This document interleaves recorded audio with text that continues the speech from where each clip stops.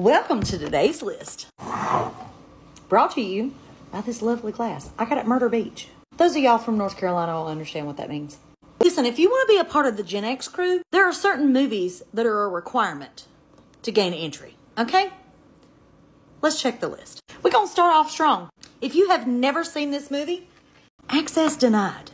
This is a must see as well. If you've never watched this movie, no. Sit all the way down.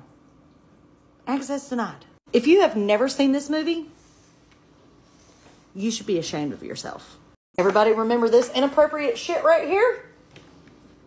Nobody thought it was inappropriate for Brooke Shields to be naked. This movie right here, it's a must on my list. A respectable Gen X is seeing this movie. Bonus points if you saw it at a drive-in. Do I have to say it? You didn't watch that?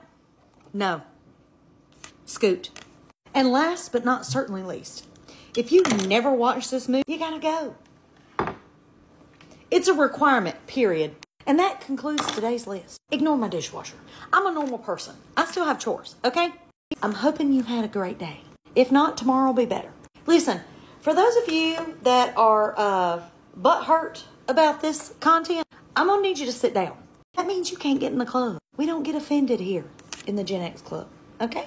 So calm down.